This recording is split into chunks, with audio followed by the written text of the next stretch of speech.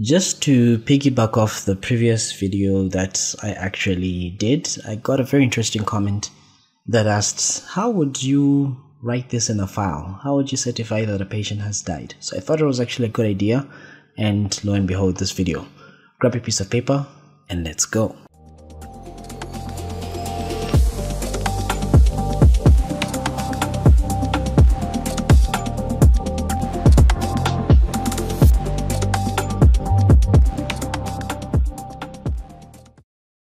Hello and welcome to MK's Medical Review Series. My name is Dr. Moses Kazevu. This is a series on my YouTube channel where we look at medical topics in depth. Today we're going to be looking at certifying a dead body. These are some of the things that you actually don't really get taught or sometimes they do orient you, but especially if you're in a department where people die a lot, for example in internal medicine where people die almost every week, then this is a task that you cannot run away from because you will be called when you're on call that a patient has deteriorated, you go and you attempt to resuscitate them, and you realize that the patient has demised. And there are also possible scenarios where you can actually get to the patient without even doing any intervention and realize that they have actually died. So, death is a very common thing that is actually experienced in the hospital. So, you should have some functional knowledge on how to certify a body dead or how to certify a person dead. So there are certain important things that we actually look for. And if we actually take these signs as individual signs, it actually is very unreliable because a person may have actually pupillary reactions that may still uh, be absent, for example, in certain conditions and may be present in other conditions. So, if someone has the pupils fixed and dilated, they can still be having some respiratory activity, they can still be having some cardiovascular activity. Yes, their brainstem may have been dead, they may be brain dead, but they are still technically legally alive.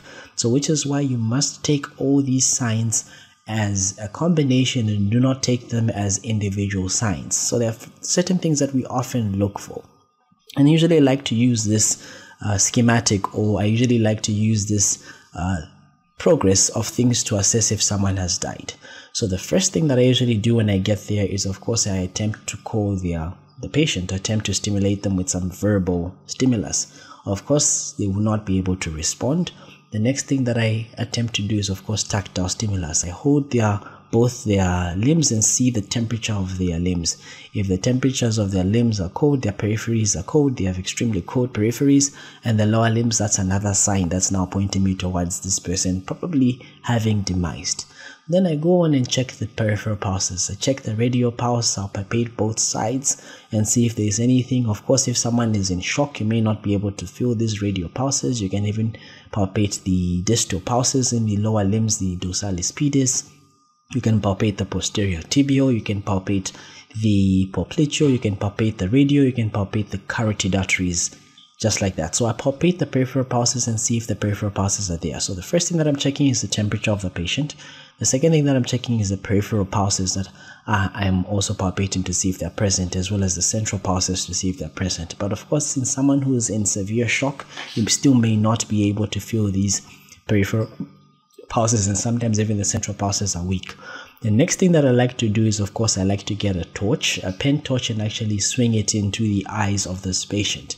I swing it into the left eye and see the reaction in the left pupil. I also look at the reaction in the right pupil. I'll swing it in the right eye and I'll look at the reaction in the right pupil and the reaction in the right eye as well as the reaction in the left eye. When a patient has actually demised, both pupils will be fixed and dilated and they will not be responding to light. So that's the third thing that I'm checking for. The fourth thing that I'm checking for is now I come and look at the chest. Is there any activity on the heart? Is the heart beating? Am I seeing any vascular? Am I seeing any uh, activity in the precordium rather of the heart?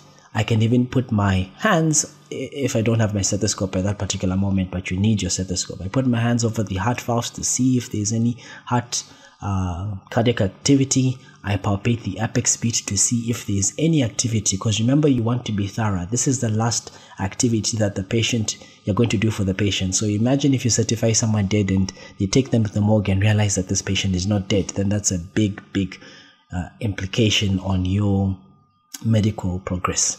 Then after I after I do this with the heart, now I get my stethoscope and I place it over the heart valves and I make sure that I listen for a full minute.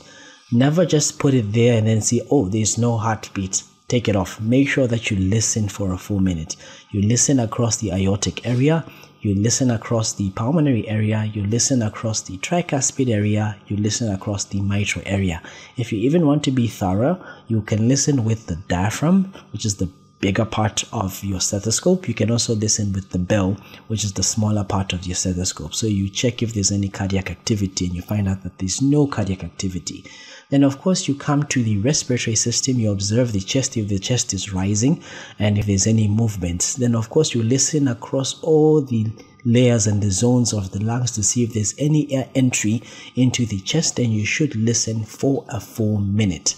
Then once you have examine this patient and listen to every single thing that I've talked about, then you can certify that the patient has died. You look at the time and you call you call it you that the time of death is such and such, so that you keep that uh, time in mind.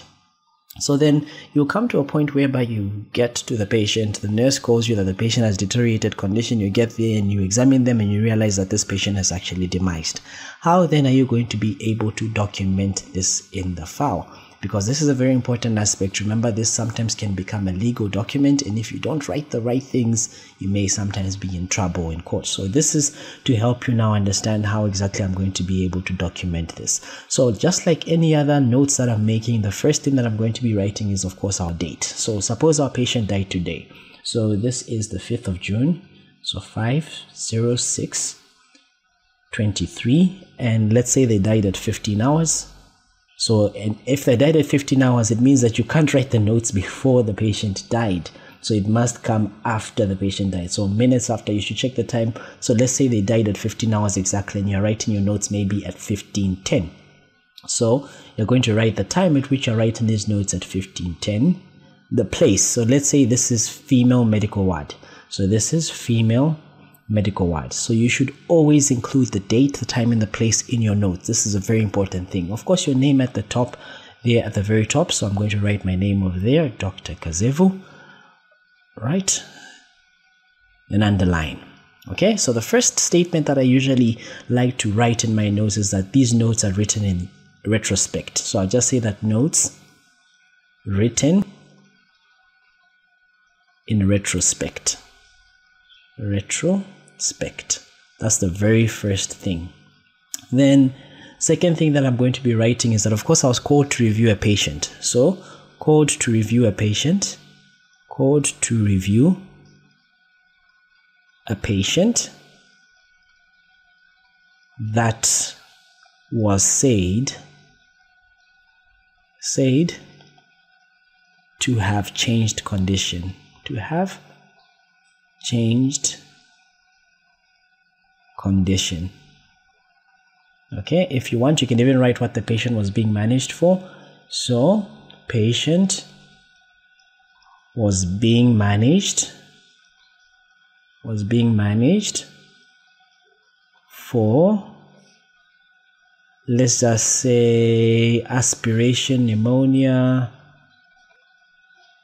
aspiration pneumonia, pneumonia in CVA secondary to hypertension. And this hypertension was uncontrolled. Okay? So this is just the opening statements that will tell anyone who's reading your notes that okay this this person was called at this time and the person has changed condition then you can come now to your examination findings. So an examine on examination our general examination our gcs so obviously if someone has died and you do your gcs it's obviously going to be 3 out of 15 because that's the lowest score that you can actually get. So our gcs is 3 out of 15 we examine the pupils. So our pupils fixed dilated and not responding responding to light then cold peripheries peripheries with absent peripheral pulses, peripheral pulses, and there is no cardio respiratory activity. So anyone who's reading your notes will be able to tell that by the time you got to this patient and you examined this patient, this patient was dead. So even if you are writing any resuscitation notes, there's no point. It's like as if you're resuscitating someone that was already dead. So the next thing that you write here is of course our time of death, our TOD, which is 15 hours. We can even write our suspected cause of death, which in this case is aspiration pneumonia. Aspiration pneumonia. Pneumonia. Secondary to CVA. If it's hemorrhagic, you write hemorrhagic. Of course, write it in full cerebrovascular accident. Then this is secondary to hypertension, uncontrolled hypertension. Then, of course, our plan is the next thing. So our first thing that we write on our plan is of course we want to inform the relatives. Inform relatives. Number two, we want to inform the morgue that they're going to be receiving a body. Number three, we want to prepare the body for the morgue. Prepare body for the morgue. And then number four, May his or her soul rest in peace. Then, of course, you sign and your job is done. And this is how you're going to be documenting that this patient died at this time. Make sure you add your time of death, make sure you add your cause of death. I really hope this helped shed a bit more light on what we do and how we examine patients and how we certify that a patient has actually died. If you enjoyed this video, very quick and brief, please consider subscribing to the channel, hit the bell notification icon to be receiving notifications of such videos every time I post. Do not forget to drop a like, drop a comment on our road to 7,000 subscribers to Zambia and beyond. My name is Dr. Moses Kazevu. Until next time, bye bye.